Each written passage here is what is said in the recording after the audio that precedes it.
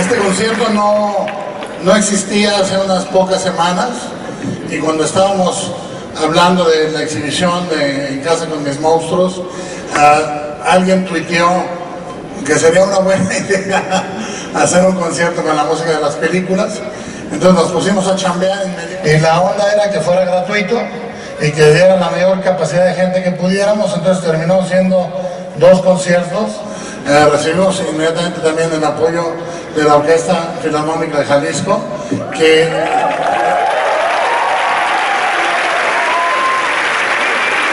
me, permito comentarles que la Asociación Mahler acaba de nombrar esta orquesta la mejor orquesta de México.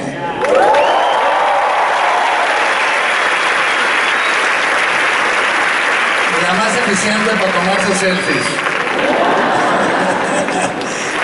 Y está conformado por miembros muy jóvenes, es muy bonito que sea la orquesta la que le da vida a la partitura eh, de las películas, la idea de la música de películas, hay gente que dice esta música que no se debe oír, mi madre.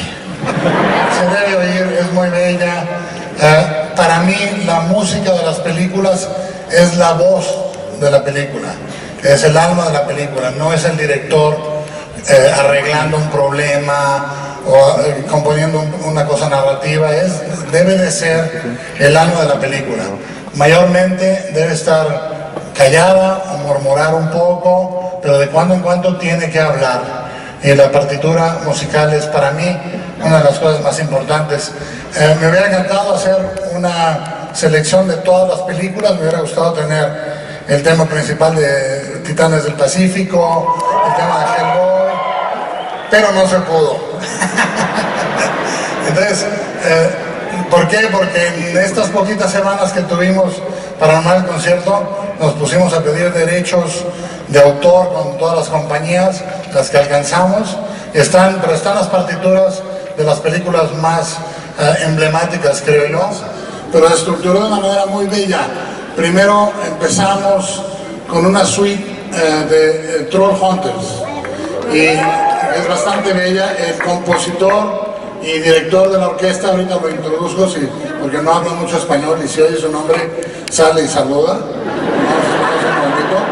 Pero él, compuso para la serie de televisión, eh, compuso también material adicional para el libro de la vida, cuando la produje con Jorge. Eh, y la segunda parte de la primera mitad es El Espinazo del Diablo.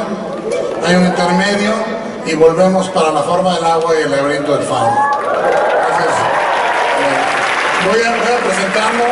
Este cuate es muy buena onda, es un locazo maravilloso. Es australiano, con lo cual ya digo todo. Eh, su nombre es Tim Davis. Tim Davis. Tim Davis.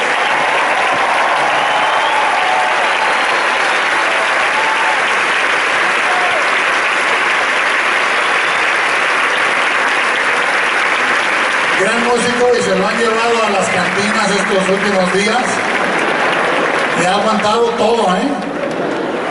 Para aquellos que tienen Netflix en la casa, pues este team eh, y yo hemos colaborado en las series de Troll Hunters. sí,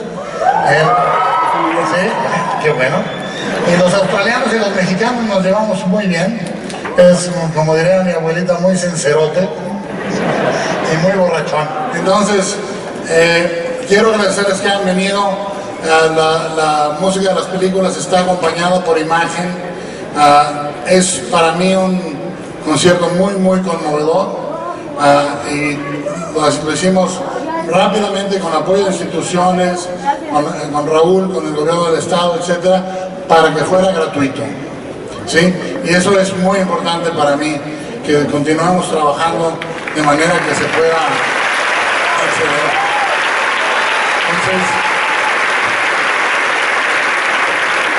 Ya nos chingaron con el transporte, por lo menos que haya música.